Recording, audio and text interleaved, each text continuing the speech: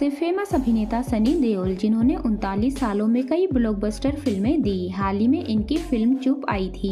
यह एक्टर अपने love affair के लिए भी सुर्खियाँ बटोर चुके हैं। सनी देओल का अफेयर अभिनेत्री डिम्पल कपाड़िया के साथ भी रह चुका है। एक्टर ने डिम्पल कपाड़िया से पहले अमृता सिंह को भी डेट किया हुआ है, लेकिन अभी तक एक्टर ने अपने और डिम्पल के रिश्ते की अफवाहों का खंडन नहीं किया। लेकिन अमृता सिंह ने सनी देओल से अपने रिश्ते के बारे में मीडिया के सामने कन्फर्म कर दिया था। जहाँ एक इंटरव्यू में अमृता ने सनी देओल और डिम्पल कपाड़िया के अफेयर पर खुलकर बात की। अभिनेत्री ने कहा, मुझे लगता है कि वह अपना केक खा रही है। उसके पास खोने के लिए कुछ भी नहीं है और सबसे महत्वपूर्ण बात यह है कि उसे उसका लड़का मिल गया है। जहाँ वह उसे चाहती है तो क्या हुआ अगर ये कहीं नहीं जा रहा? जब आप पहले से ही एक जीवन जी चुके होते हैं तो आप उस रिश्ते से खुश होते हैं जो चल रहा होता है। हाल ही में डिम्पल और सनी अपने अफेयर को लेकर सुर्खियों में आए थे। जब सनी ने पूजा से शादी की, तब डिम्पल कपाड़िया ने अपने पति राजेश खन्ना से अलग हो गई थी। वहीं खबरों की माने तो डिम्पल की दोनों बेटियाँ एक्टर को छोटे पापा भी कहा करती थी। माना जाता है कि डिम्पल और सनी देओल आज भी एक रोमांटिक रिश्ते में है, जहाँ सोशल मीडिया पर इनकी एक फ़ोटो वायरल हुई थी, जिसमें यह दोनों कलाकार मोनाको में छुट्टियाँ बिताते हुए हाथ में हाथ डाले घूमते हुए दिखाई दिए।